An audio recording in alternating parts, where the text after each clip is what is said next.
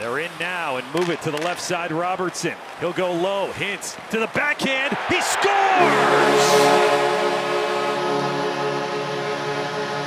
Roope Hintz The tuck on the backhand from the top of the crease, and the Stars on the board early. So all he does is score a goal whenever he does play. It's a little flip down to him from Robertson, and he does the rest.